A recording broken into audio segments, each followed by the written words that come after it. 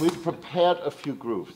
The idea is we all play the groove together, you know, and because you're all individuals, I know little things are going to start sneaking in, which are interesting. And we'll see which grooves work best. If we start each groove in a sort of a, you know, wherever it feels good, and do that for like 16 bars, and then people can start getting a little more individual about it, you know, and by the end it'll become whatever it will become, right? Mm-hmm.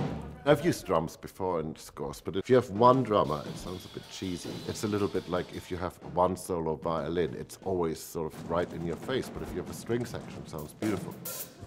I thought, what if we could get the 12 greatest drummers and meld them into one giant machine of energy? And we did that. yeah. I want the audience to feel like they're, you know, you're surrounding them. Hence the peculiar setup.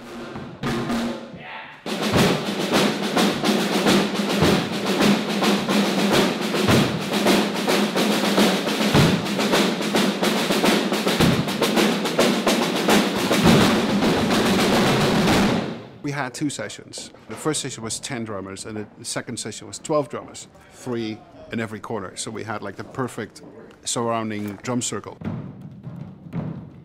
I mean, these are the best session players in the world. But it's interesting because even though the rhythms were designed to play, but everybody is bringing their own background, you know, and history going back 30, 40 years or so. They all have their own interpretation how they do it.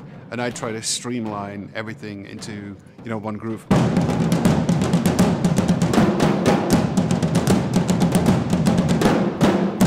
Everybody brought their A game, and came up with some amazing grooves that I think are, you know, probably scare the you-know-what out of people. I have to say it is pretty amazing to be here with nine, ten other drummers. Me being the only woman, I love it.